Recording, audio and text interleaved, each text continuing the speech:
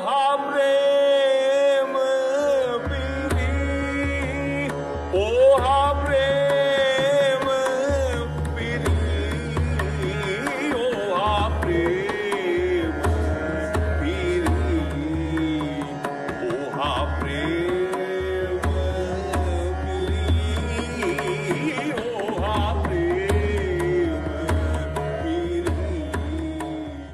गुरु नानक ने जब उदासी धारनी थी तो भाई मर्दाने को, जो कहें तो मिरासी है, कहें तो मुसलमान है, पर कहें तो वो गुरु का सिख भी है, कहें तो उम्र में दो साल बड़ा भी है तो उसे कहते हैं कि भरोवाना गाँव है, वहाँ पे बहुत बड़ा रबाबी है उसका नाम फिरंदा है। तो रबाबी फिरंदा के पास जाओ तो उनकी बनाई हुई हाथों की रबाब ले आओ। तो भाई मर्दाने को समझ नहीं आई कि क्यों, काहे की रबाब काहे का ये क्या, कौन है फिरंदा? तो वो जब जाते हैं तो भाई फिरंदा भी मुसलमान है।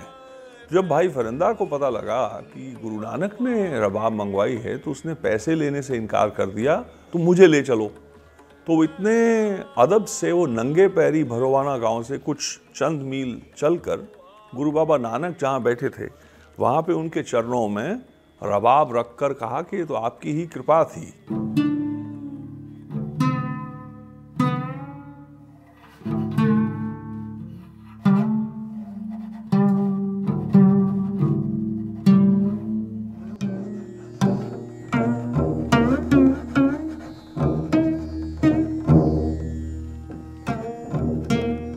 ये रबाब है।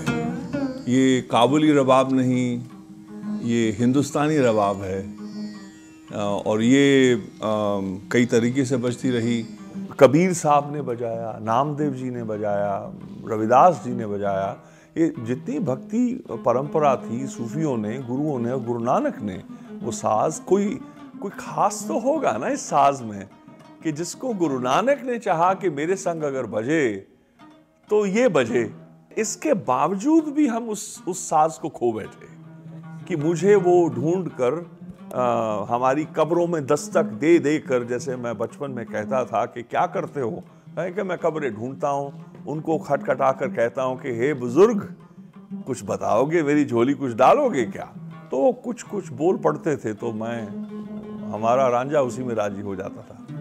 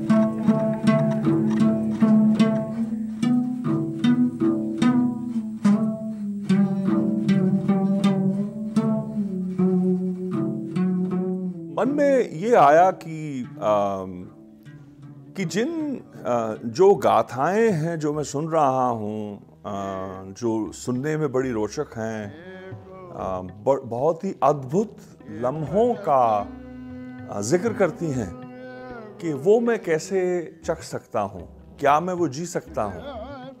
जासी ढोला हथ ना लाए कसुंबड़ाए जल जासी ढोला, हथ ना लाए बेड़ा बंद न सकियो बेड़ा बंद न सकियो बेड़ा बाँध न सकियो बंधन की वेला, हथ ना लाए कसुंबड़े ये जब बंदिशें मुझे कराई जा रही थी, कहें कि गुरु साहब के साथ गुरु साहब साथ में रबाब बजाते थे या सरंदा बजाते थे, फिर मुझे बंदिशें कराई गई कि ये बंदिशें वो हैं जिस काल में सिर्फ़ रबाब बजती थी।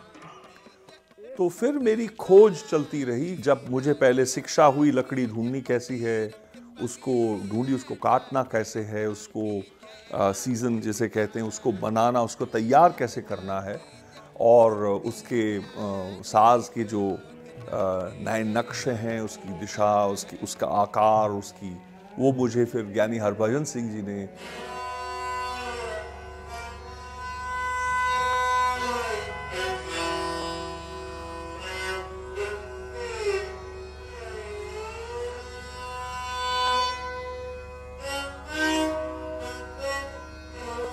अगर हम खोजना चाहें कि हमारी सभ्यता किसमें है तो किसी एक धागे में नहीं मिलेगी आपको, ना ही किसी एक रंग में मिलेगी।